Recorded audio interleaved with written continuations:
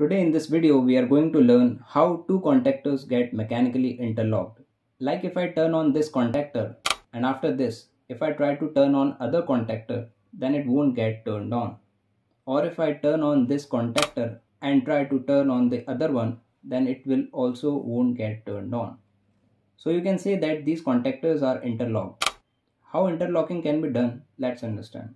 First we will learn what is interlocking. Suppose you have a motor and you need to run this motor in forward as well as in reverse direction. Then you have to use two different contactors.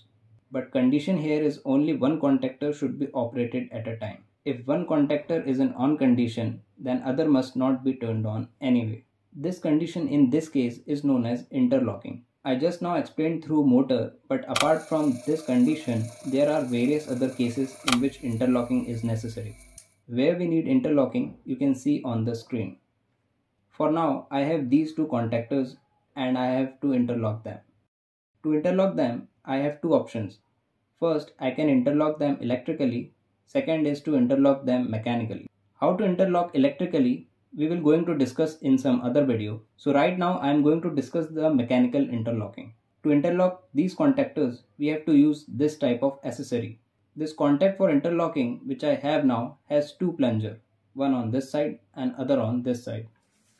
If I try to pull this upwards on the other side, this lever or plunger will lock itself and not move upwards. Similarly, if I pull this lever upwards and try to pull this one, then it won't make full contact. Overall, we can say only one at a time can be pulled upwards. Now, how this can be mounted with contactor, let's understand. In this contactor, if I look at this side, you can see a cover is there. First, remove this cover. When you remove this, you will see something like this. Now we will have an option here to mount this contact.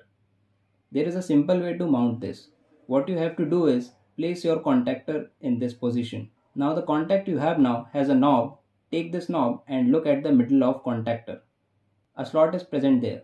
You have to place this lever here. This has mounted perfectly. Keep one thing in mind, this side should be downwards. At the upper side, it should be flat. Take the other contactor and look at this side. After removing the sticker, mount the contactor with this lever present here. So I am mounting this. Okay. I mounted both of the contactors on contact. I will still not remove my hands on contactor to check whether it is perfectly interlocked or not. Both the contactors are making proper movement, so we mount it perfectly.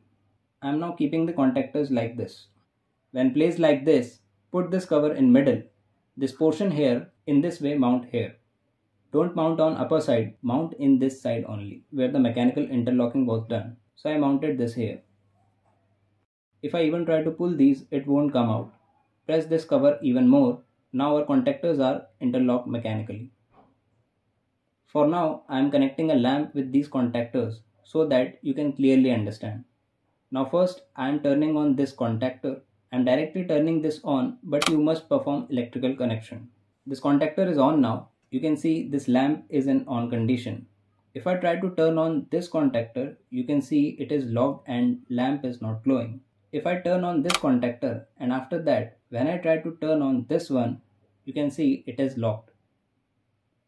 You can say that we interlock these contactors and precisely we done the mechanical interlocking.